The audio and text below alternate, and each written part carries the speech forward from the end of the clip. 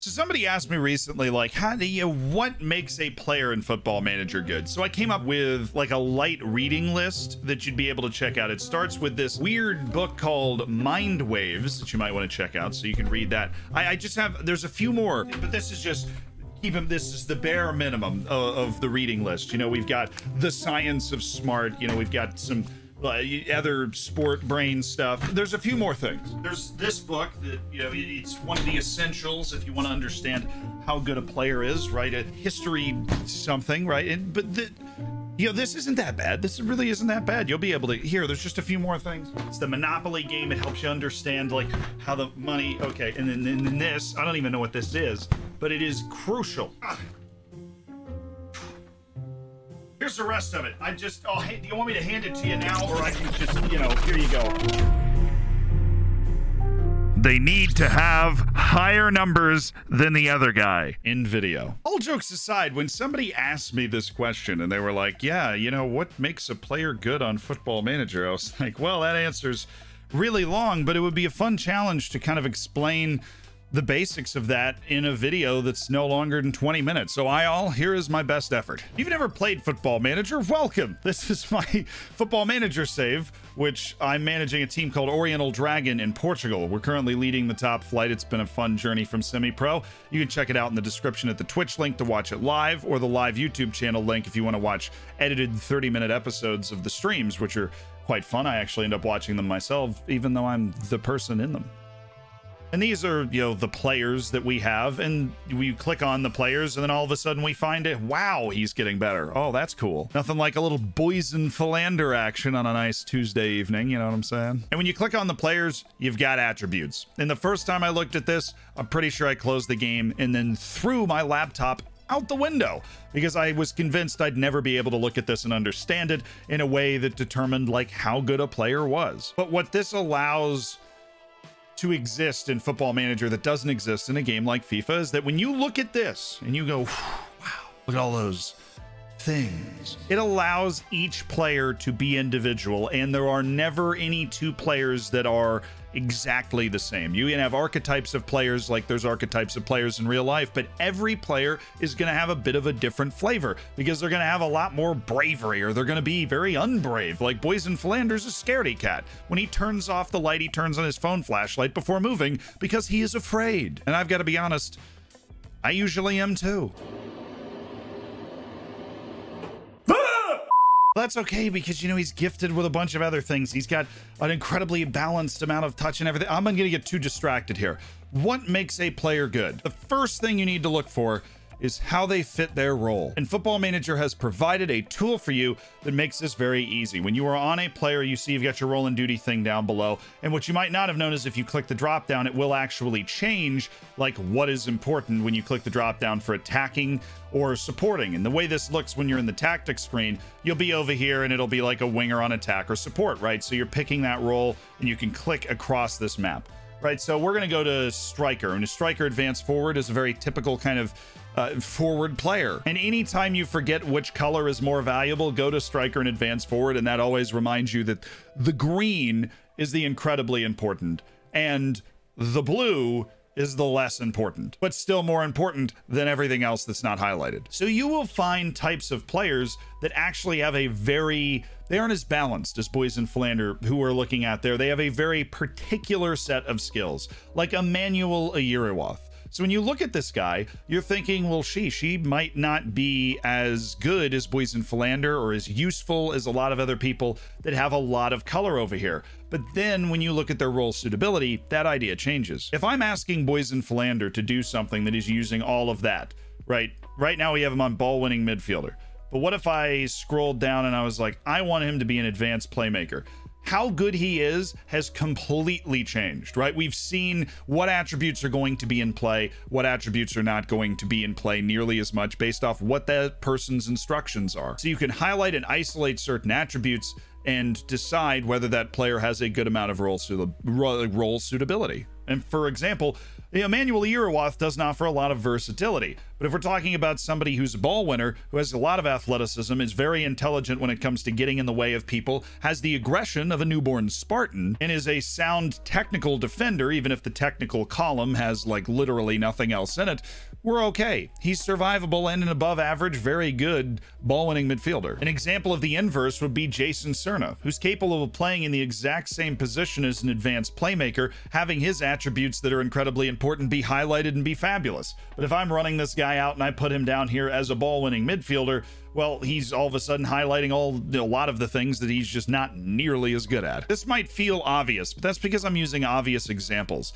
The difference can be much more subtle between somebody like a box to box midfielder and an advanced playmaker, but the Jason Serna could just be not as good, and he is not as good as a box to box midfielder because even though his attributes that are good are in there, he's being asked to do things he just can't do, at least effectively at the level that you want. So, what makes a player good in Football Manager? Number one, it's their ability to fit into the role that they're being asked to do. Number two, this creates what I like to call trump cards because there will be some players kind of like a Eurowath where when you pull them up, you go, well, this guy just doesn't look like he'd be able to hang with the rest of my team. So if you're eyeballing the attributes, let's look at my starting front three, shall we? Which is João Silva, Armando Pereira, and Angel Zamudio. At left, you know, left forward, we've got João Silva. We've got wonderful numbers all over the place, and a player that's more than capable of making something happen. Armando Pereira. We've got wonderful numbers all over the place, different areas. And then we look at Angel Zamudio you've got literally three green numbers in the entire thing and a lot of what seem like very large and obvious holes. There are a few things that players can be great at in Football Manager that can actually carry them to a certain point. Now, Zamudio will never be the best player in the world because the best players in the world have this and then they have a bunch of other stuff, but there are certain things that you can have that are these trump cards, and Zamudio has one of them.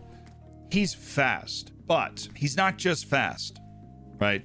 He is really fast. There is a difference between being fast enough to keep up with the Joneses and at a world class level, we were talking like 14s and 15s and maybe some 16s. There is a difference between that and being able to fly. And Angel Zamudio can fly. There are not a lot of people in the world with 18, 19, 20 speed. And when you start sprinkling in a really good helping of agility and balance, and you've got enough stamina and work rate to make all of this work and so that they can keep running the whole game, which Zamudio just barely has enough. Well, all of a sudden he's laying down a 7.1 in the Champions League and a 7.2 in Liga NOS. Even though he looks like a much less impressive player, he's just so freaking fast, it doesn't matter. You might be thinking, well, is that the only trump card? No, thank you for asking. I've come up with three more trump cards for you to remember.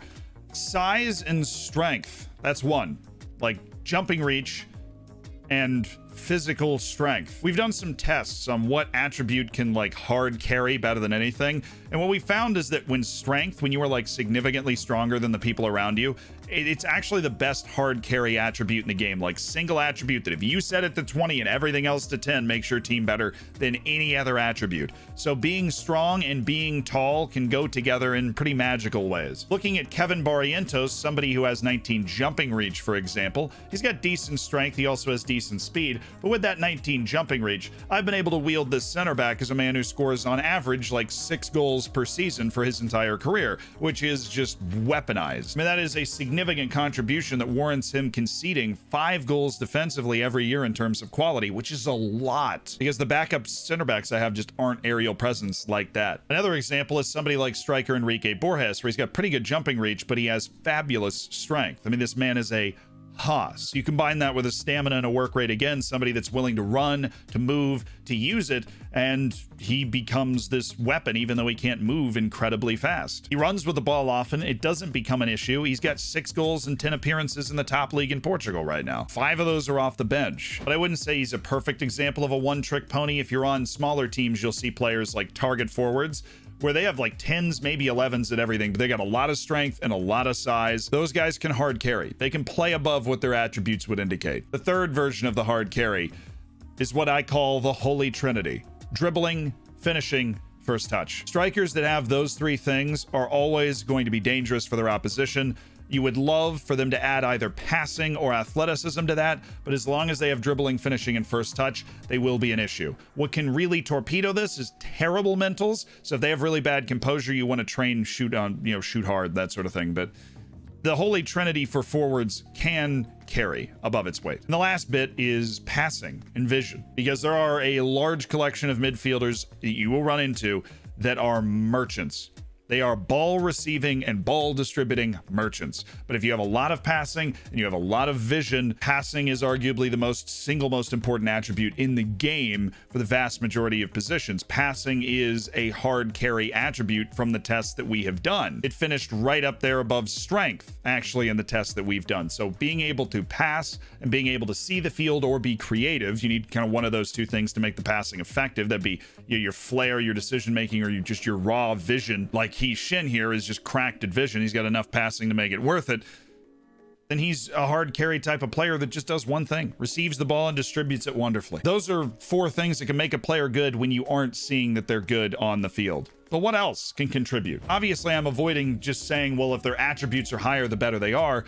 But the third thing that we're talking about here is the fact that more attributes is generally better. Because even though all of these attributes are highlighted for the role, right? Armando Pereira is a worse player than João Silva because João Silva is able to bring things to the table that are not quite in his repertoire. They aren't necessary for his role, but he's influential in the air, right? It's not necessary for his role, but he's decently strong, but he crosses at a decent clip, right? But he works hard, right? Like this not, and Pereira actually works wonderfully hard. That's not the point, but he has creativity the higher attributes that fill in outside of that, the more versatile the player is and the more valuable they are to your team because they provide a tactical flexibility that you're not going to get otherwise. And I'm looking over here because I'm looking for one player in particular that exhibits this, somebody that I play as a playmaker sometimes named Petr Todorov. And when I play him as a playmaker, you see what's highlighted, what he's being asked to do, control the ball and distribute it, which he can do well. But he is valuable because you fill in all these other things,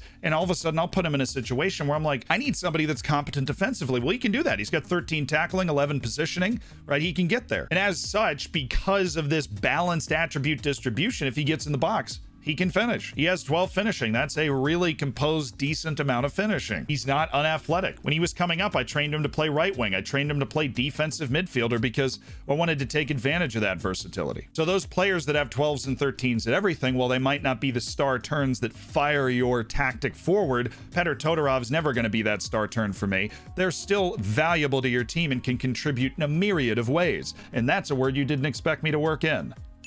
Let's go to our final category the sneakies. I couldn't come up with a better phrase for that, but they're very, very important, and you can find them if you go to your pros, cons, and you trust the person that's providing the knowledge on a player. The sneakies are going to be things like consistency, which you hear on Anssi Karolainen is a bit of an issue, or things like consistency being good. Yay! Consistency affects how often a player is playing at its top level compared to its attributes, right? Sometimes a game will start and they're feeling inconsistent that day and their attributes will just be worse get them off. Well, not immediately. I mean, you gotta wait a while to figure that out. You're also looking for enjoys big matches. This is their ability to handle pressure situations. If it's deep red, you have a serious issue. That player's going to suck every time that it matters. I signed a guy for 120 million one time at Manchester United. I was just I ended up getting fired because that dude could not perform in the important matches, even though his attributes were 10 times better than Walter Mabasso, who we happen to be looking at right now. And this expands out into a couple of other things to determine how players react to situations.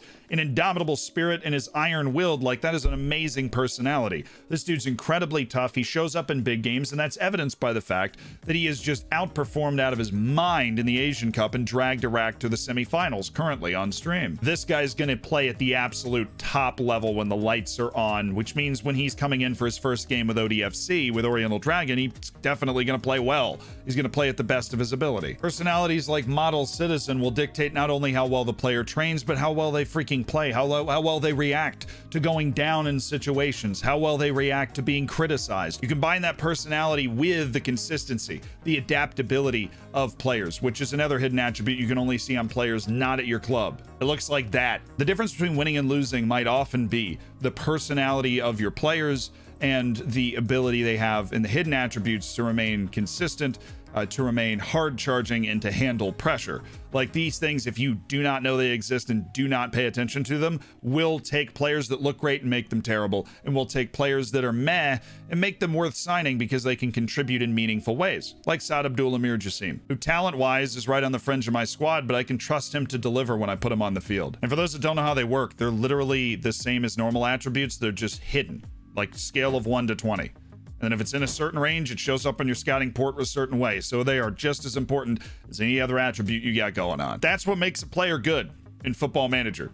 Is if you can check on all of those things, find players that are able to kind of hard carry above their weight, and make sure that players are fitting the role that you're trying to do. That and uh, you know, bit of a circling back here. The higher the number is, the better they are. That's the simple answer.